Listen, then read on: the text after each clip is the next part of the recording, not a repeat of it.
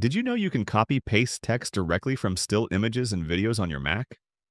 I can take a video in QuickTime Player, for example, pause it, copy text from any element in the video, and paste it to a text document.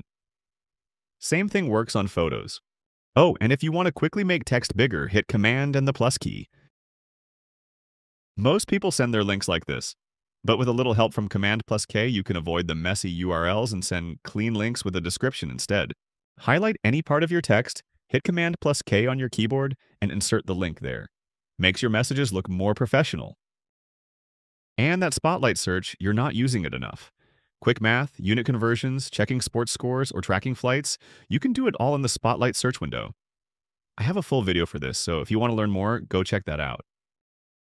If you click and drag your files like this, you can select multiple files without ever touching your keyboard. I do this all the time when juggling tons of files at work. If you click and drag the file name itself, it's not going to work. Click that empty space next to the files and you'll have a smooth selection of multiple files at once. But that's not really what I was about to show. I wanted to show how to quickly batch rename a bunch of files. Highlight your files, right-click, and choose Rename. You can either replace text, which allows you to replace a part of the original name with something else, or you can either add text either before or after the existing name, or you can format your files to have a name and a number counter or a date. I do this a lot when working with a large batch of still images or videos, but obviously you can do it to any type of file. And if you want to compress your files into a zip file for easy sharing, right-click your files and choose Compress. Boom, there's your zip file. My favorite way of driving myself crazy with a Mac is how copy-pasting text always brings over the formatting. No, Tim, I don't want your crazy big weird fonts. I want regular text. Shift, Command, Option plus V will paste your text without ruining your font. You're welcome. Speaking of text, I'm a big fan of copy-pasting text by simply clicking and dragging it.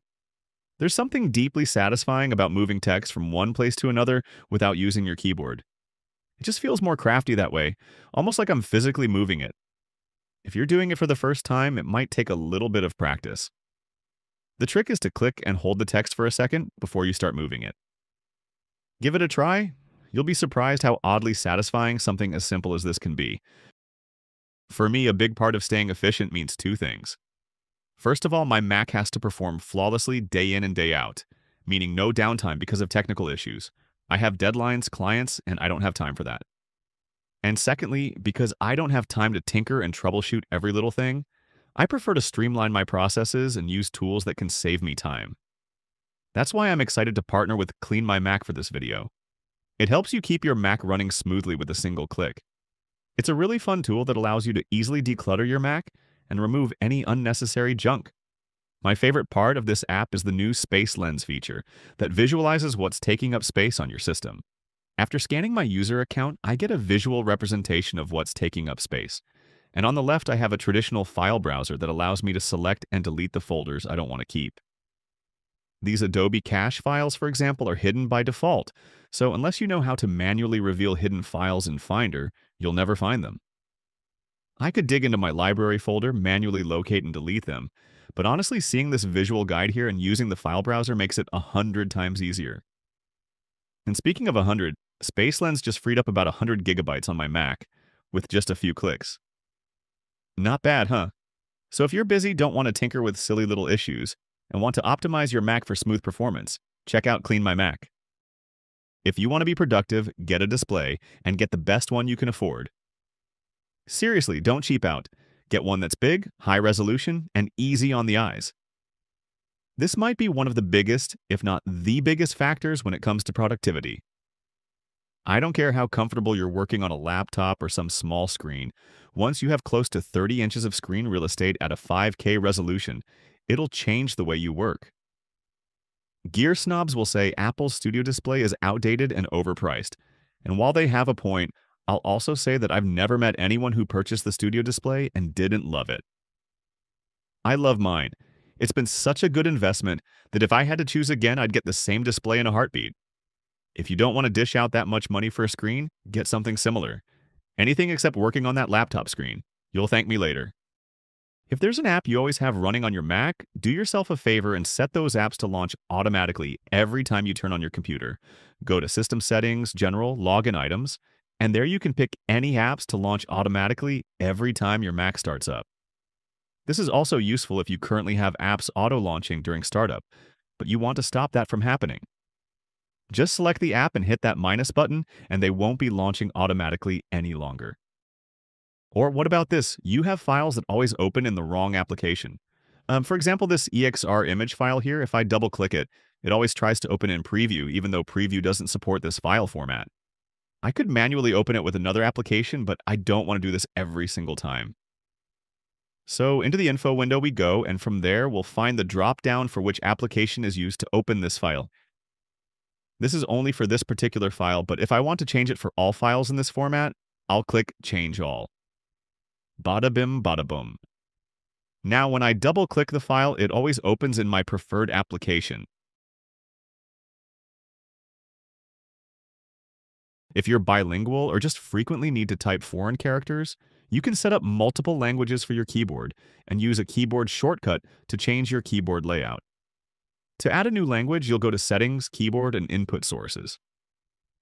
There you'll see how your physical keyboard will type different characters depending on which input source you're using. To quickly swap between languages, you can set a shortcut under Keyboard Settings, Keyboard Shortcuts, and Input Sources. I believe the default shortcut is Control and Space, but you can change that to whatever you'd like. Another fairly important efficiency trick is to learn to fully utilize your trackpad or mouse gestures. Mouse and trackpad gestures on macOS allow you to swipe between pages, swipe between full screen apps, open Mission Control or Launchpad or even Notification Center, use the Smart Zoom feature, rotate images, or swipe between pages. When my email inbox is full, I just swipe away and all the unnecessary emails get archived. It really boosts your efficiency to learn some gestures and put them to use. If you have an Apple Watch, go to System Settings and Login Password on your Mac and you can set up your watch to automatically unlock your Mac. No more passwords or Touch ID. This one is actually super convenient. Highly recommend it. If you ever need to combine two videos into one, you can do that in QuickTime Player. Just open up one video and then drag another on the playhead on the bottom. Boom, your videos are now together. Once you're done, you'll just export this new video and that's it. QuickTime Player is super powerful and does a lot of things most people don't know about. I have a full video listing all the hidden features, so if you want to learn more, check the link in the description.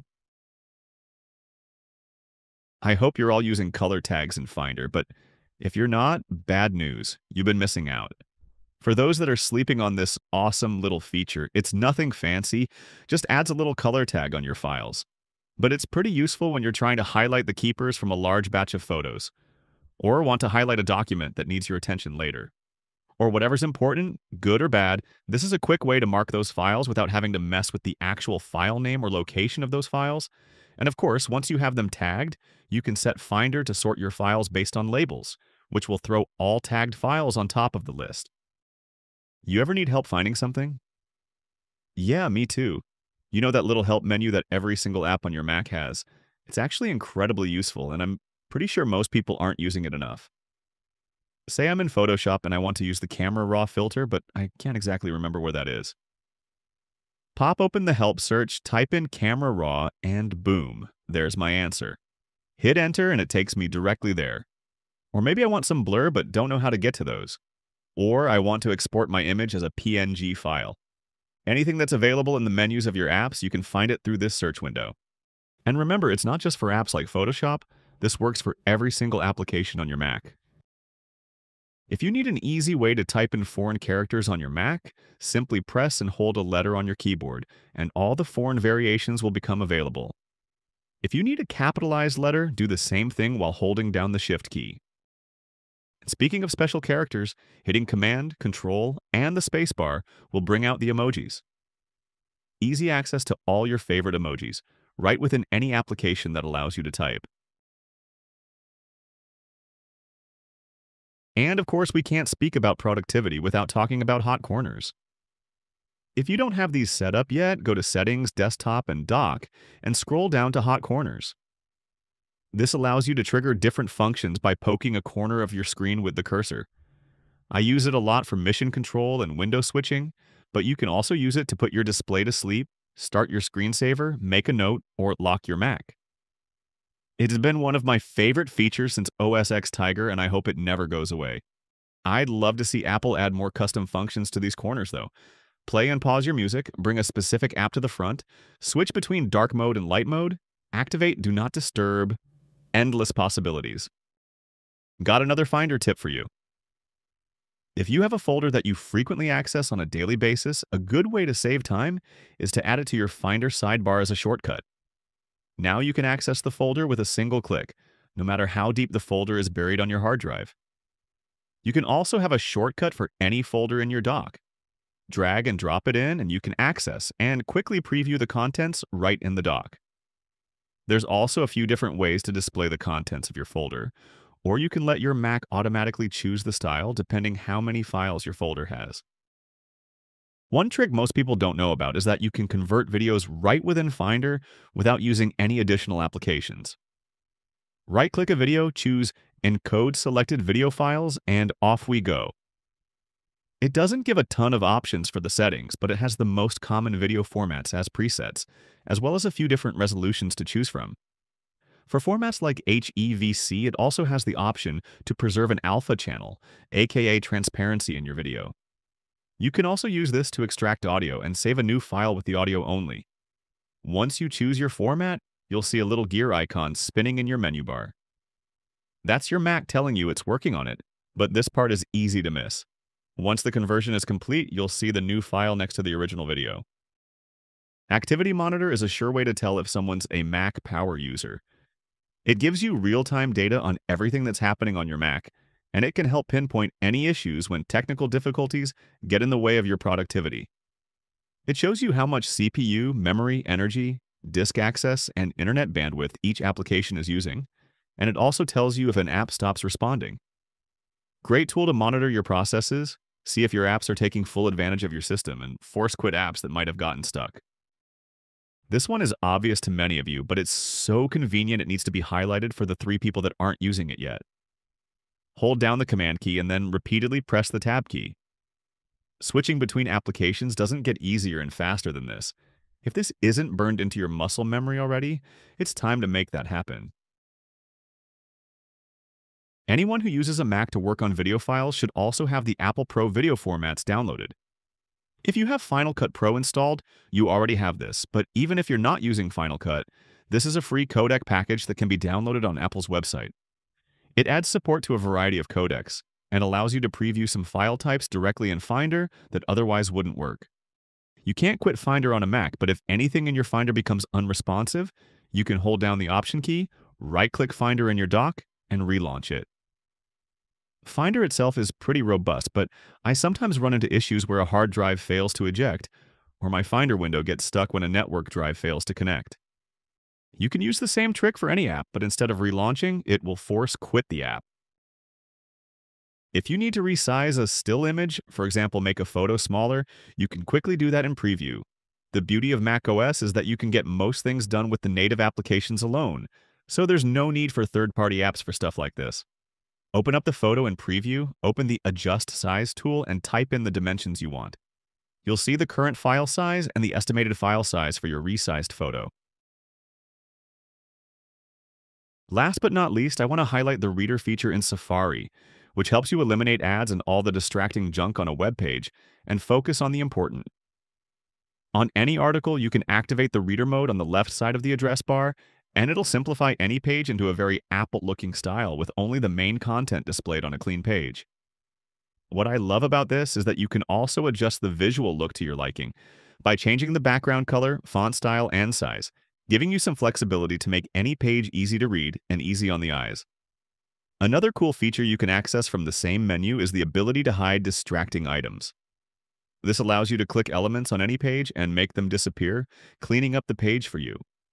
It's not an ad blocker, and elements like ads that refresh frequently will eventually come back, but it's a nice way to make your browsing experience nicer if you spend a lot of time on a certain page. And those are all the efficiency tricks I could think of. Thanks for watching. Tell me your favorite productivity tricks in the comments, and I hope to see you all in the next video.